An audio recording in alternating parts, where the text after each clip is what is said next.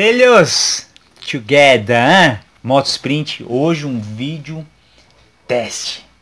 Teste realizado com sucesso. Vai que é bom. É isso que eu posso te resumir, mas eu quero que você assista. Porque é o seguinte, eu faço os reviews, né? Então eu mostro capacete e tal, não sei o que, não sei o que lá. Claro, quando a gente testa, a gente pode afirmar com 100% de certeza. Quando a gente não testa, a gente pega o histórico né, da marca, analisa, vê componente e tal, e aí você tem também aquela credibilidade e confiança. Então você não testou. A marca faz seus testes, enfim. O que, que eu quero falar para vocês? A Ju acabou tendo uma queda com o capacete Bell, ou Qualifier, que é o capacete de entrada da Bell, e o capacete foi super bem, é, não tenho o que falar. A Bel, pra você ter uma ideia, ela tá aí há um bom tempo, né? Ela nasceu, tava ainda na, dentro do, da bolsa escotal do meu querido papai. Então assim, os caras têm bagagem para construir capacete. Explica pro pessoal. Ju, que está ausente do seu canal, e a gente quer vídeos e ah, não tem feito. E, Você pega meus vídeos. e, e assim, é complicado isso. Ele pega os meus vídeos. Por isso que eu não posto. Por favor. Então, oi gente, tudo bem?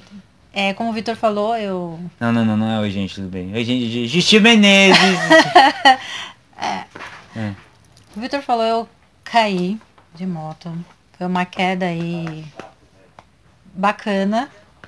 E eu fui direto de cabeça no chão. Fraturei duas costelas, machuquei pulmão. E o capacete está aí intacto. O que eu falei pro Vitor foi que eu mais. A cabeça tá intacta. A cabeça tá intacta. Não faltou consciência. Não. né? Faltou consciência. Faz assim, fala. Não ficou inconsciente. Não fiquei inconsciente, eu levantei, Vai conversei, a única dor que eu senti Vai foi na costela mesmo, porque não teve jeito. Eu estava equipada, mas infelizmente jaqueta não tem proteção na lateral, senão você fica igual um robô, né? Mas o capacete eu fiquei impressionada, porque quando eu caí, eu via foguinhos no chão, e eu falei, meu, ferrou, esse negócio vai abrir, vai queimar o meu rosto, vai ralar. A viseira não abriu, a viseira não quebrou, o capacete ralou absurdamente. E no hospital eu fui direto para fazer uma tomografia. Graças a Deus, zero. Tipo, sem sequela nenhuma. A única coisa sequela que eu tenho é da vida mesmo. Mas Devido à vida que levou, né? é e que você também. Eu não tenho Né? nada a ver com isso, né? A vida Tem. que levou, né? A vida que veio levando até aqui, né? Uma vida que te deixou com muitas sequelas. E agora você melhorou, né? graças Encontrou o caminho. Encontrei Ah. Jesus. Uhum. É, é, não, não sou Jesus, mas você percebe que o capacete é bom. Por quê? O que, que eu quero dizer pra vocês? É, eu, quero, eu queria que ela falasse, e ainda bem que não foi eu que testei, é porque eu tô de saco cheio já de testar, então, pô, obrigado pelo teste, viu? O pessoal agradece. Acho que você fez de propósito. É, né? eu não fiz nada de propósito. A Você vida, passou na frente, jogou pedrinha. a vida, ela é, às vezes, ingrata. Gente, foi meu primeiro Quando tombo ela virar as costas noção? você, Meu você deve passar a mão na tombo. bunda dela. Tá, Tá? então um Então, isso. Então, assim, é, tombos acontece em casa de ferreiro espeta de pau. Exatamente. É. Então, assim, por mais que eu dou as dicas, tal, não sei o que, não sei lá, não adianta. Mas eu fui Eu derrubada. tô brincando, eu tô Para de ser brincando. trouxa. Eu tô brincando. Mas enfim, é, um pernetinha pegou ela e, e acontece, são Ele coisas me da um vida. e São coisas da vida, infelizmente, a gente está exposto, a gente não sabe o que vai acontecer, por isso que equipamentos é importantíssimo. necessário. então o que, que eu quero dizer para vocês, até voltando aqui um, um determinado assunto.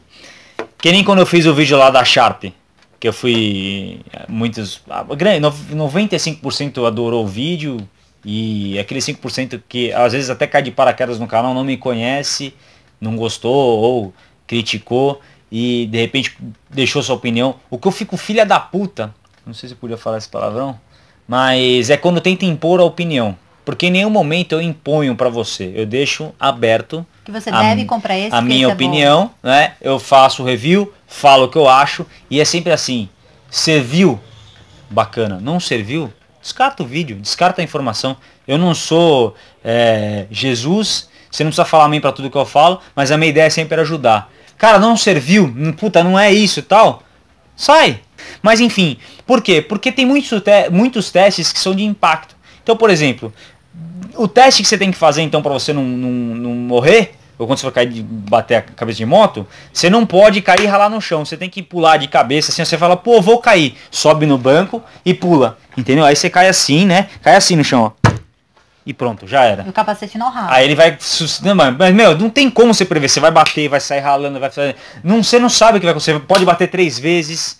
E três vezes talvez em lugares diferentes. Então, o teste, o, real, o teste real é quando você põe na cabeça e por infelicidade da vida ou não, acontece a situação. Entendeu? Esse é o real teste. Por quê? Teoria tem um monte. Mas se eu não consigo usar em prática, não passou de uma informação e para mim tá lá essa informação e fucks. Então você vê, ele sofreu um impacto aqui, ela girou, foi esfolhando a viseira e esfolhou aqui também, né? Então eu vou eu vou eu vou fazer esse take aqui. Fica aí um minutinho. Fica aí um minutinho. Que eu vou pegar o, o Rega 2. Esses X-Video é foda, velho. Isso aí. Caraca, dedo de bosta. Aqui. Então aqui foi um impacto, certo? A viseira sequer abriu. Aí ela saiu esfolhando aqui a viseira e aqui, ó. Tá vendo? Essa parte aqui, ó. Então, essa parte Cabe um dedo pra esfolhou, é, a viseira não abriu e aqui foi o um impacto. Ó, interno do capacete. Segura aí pra gente. Eu tirei os forros, claro, para você ver que nem no interno ele fissurou. Então por isso, inclusive, o fundo do capacete é preto, para você poder ver a trinca. Tá? Claro que esse capacete vai ser descartável, já era. É, não tem o que fazer. Primeira coisa, duplo D. Se o capacete tem duplo D, ele é nervoso. Eu já falei isso umas mil vezes em todos os vídeos, o capacete tá? nem mexeu na minha Esse cabeça. capacete é de entrada, beleza? Só que aí tem um outro ponto. Essa viseira aqui, meu amigo, essa viseira aqui é do RS1. Tá? RS1 é um capacete já de alta performance da Bell. Claro que agora veio o Star, depois veio o Pro Star tal, mas o RS1 que eu tenho, um branco, é nervosíssimo. Foi um excelente custo-benefício que estava aqui. Esse capacete ele custava um pau 800. É um capacete top da Bell. A viseira é a mesma. Ou seja, os caras colocaram a viseira de um capacete nervoso num capacete de entrada. Ela tem anti-embaçante, você não precisa de pilock, e anti-risco. E meu, olha, o, ela bateu a cabeça a 120 por hora. Tem muita gente que não conhece Bell. Mas Bell, ele existe antes de você ter nascido, só pra você saber. Ela pegou outro igual, porque ela adorou o capacete e confiou no capacete. Claro, então assim, minha vida, né? então o capacete é nervoso, você pode ficar sossegado que você vai pagar um capacete de linha de entrada com excelentes proteções e acessórios que tem no top. Quem tem RS1 pode falar aí embaixo, fala o que que serve do RS1, porque eu tenho um, pelo amor de Deus, cara. Claro, eu tô com o Pro Star agora que é, é outro level, mas o RS1 no momento me deixou na mão. Eu uso ele de vez em quando e eu acho o capacete fantástico. Eu acho o campo de visão dele melhor que o HJC e o RFA 10. O 11 não provei ainda. Então assim, e olha que eu sou amo o HJC também. E quando eu falo assim, ah, você tá falando do Bell, você não tá falando não sei o quê. Eu não posso falar do não sei o quem, porque o teste que a gente fez foi no Bell.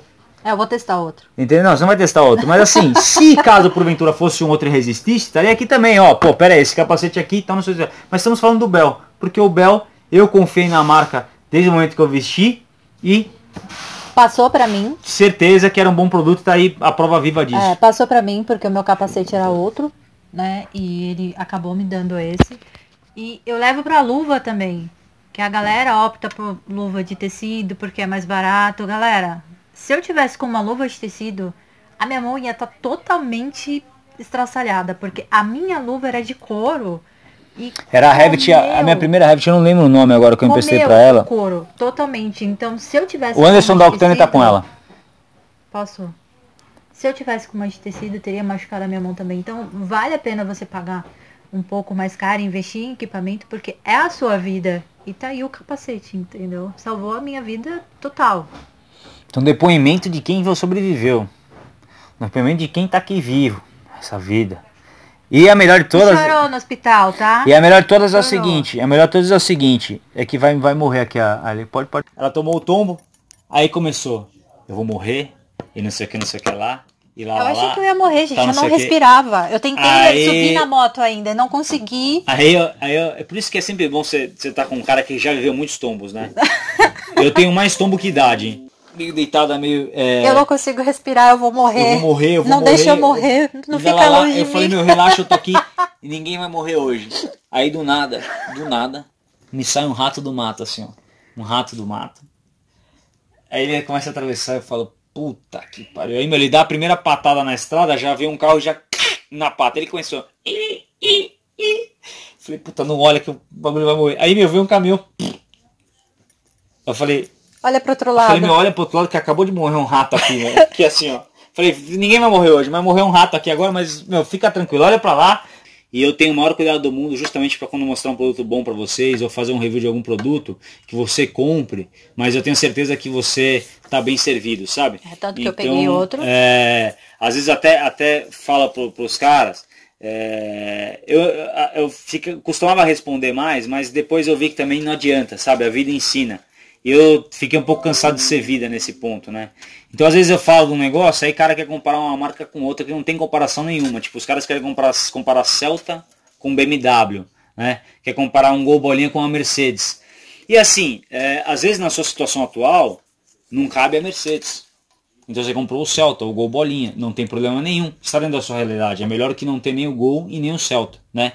Mas o que você não pode fazer é achar que o seu Celta é igual a uma Mercedes.